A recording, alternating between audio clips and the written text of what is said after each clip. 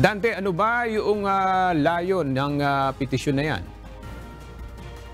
Aga ang layon nga ng mga petitioner na Buenafe et al. ay magpalabas ang Supreme Court ng isang Temporary Restraining Order o TRO.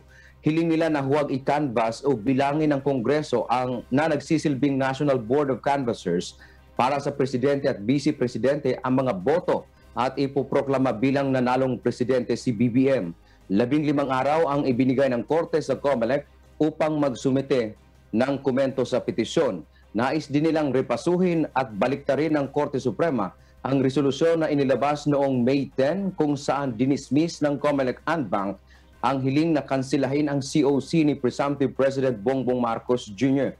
Ayon naman kay COMELEC Acting Spokesperson Director John Rex Laudianco, tutugon sila sa lahat ng ipag-uutos, desisyon at resolusyon ng Supreme Court at magsusumite sila ng karampatang komento sa issue. Sa isang pahayag naman, sinabi ni Senate President Vicente Soto III na ang Kongreso ay may tungkulin na ila sa ilalim ng ating saligang batas bilang National Board of Canvasser at mayroon silang sinusunod na timeline para sa susunod na Congress. Binigyang diin pa nito na hindi maaaring amyendahan sa pamamagitan ng TRO ang ating uh, konstitusyon. Samantala aga nagpasalamat naman ang kampo ng mga petitioner ayon sa kanilang abogado na si dating uh, Supreme Court spokesperson Ted De ay uh, maganda ang hakbang ng uh, korte dahil ang uh, issue na ito ay may malaking interes ang publiko. Yan ang ating balita mula dito sa Quezon City. Balik sa iyo aga.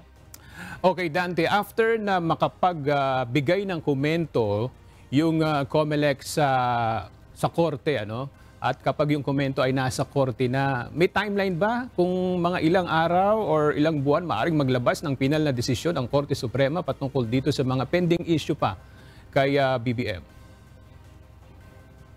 Yes, Aga, ang pagkaganyan na pag nakapagsumite na ng uh, komento ang uh, COMELEC ay walang timeline no specific timeline diyan ang Korte Suprema, depende yan sa kanila kung ilang araw sila maglalabas ng uh, resolusyon doon sa kaso dahil uh, considering marami sila, nasa labing lima silang mga maestrado ng Korte Suprema, may kanya-kanya yan silang mga posisyon sa issue. Hindi naman talaga sila, usually hindi sila magkapareho ng posisyon sa isang issue. Kaya matatagalan din ang uh, paglalabas ng uh, resolusyon sa isang kaso dyan sa Supreme Court aga. Pero titingnan natin, dahil do naka supposed to be ang uh, Supreme Court ay parang naka-break rin sila ngayon pero nang uh, magsumite nga ng petisyon itong nakaraang uh, Miyerkules itong uh, petitioner kahapon ay agad silang naglabas ng kautusan. So isang araw lang na natanggap nila ang uh, kautusan ay naglabas agad ng uh,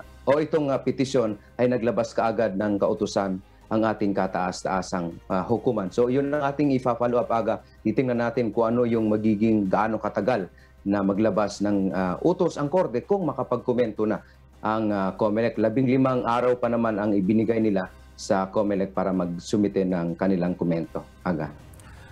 Okay, maraming salamat Dante Amento.